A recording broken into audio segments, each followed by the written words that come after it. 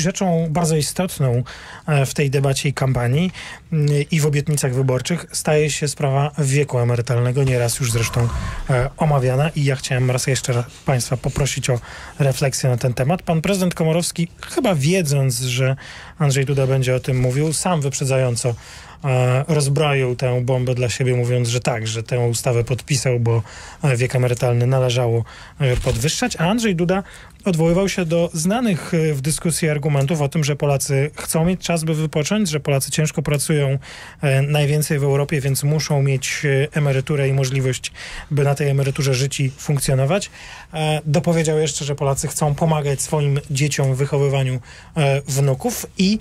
jak rozumiem, podtrzymuje swój pomysł by ten wiek emerytalny za chwilę e, obniżyć. Da się z tego uczynić poważną debatę publiczną na nowo, polityczną, czy e, ta obietnica odkręcenia reformy z wiekiem emerytalnym jest, jest tak abstrakcyjna, że właściwie E, nie mieści się w racjonalnej polityce. Nie jest abstrakcyjna, tak jak nieabstrakcyjne są wskaźniki mówiące o aktywności zawodowej Polaków. No niestety e, wypadamy tutaj na tle innych krajów europejskich dosyć kiepsko, ale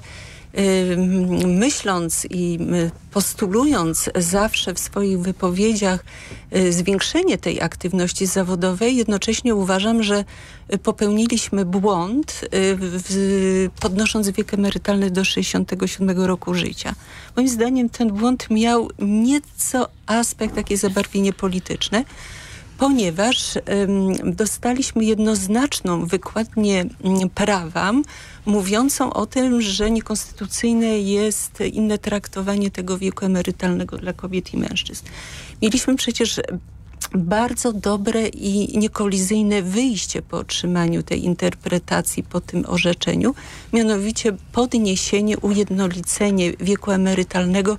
i nie podnoszenie o te dwa lata. Gdybyśmy po prostu podnieśli, zrównali i powiedzieli, że wszyscy mają e, pracować do 65 roku życia i nie dodawali tych dwóch lat, moim zdaniem cała operacja wyszłaby o wiele bardziej zręcznie, bardziej zgrabnie, mniej drażniąco byłaby dla wielu środowisk.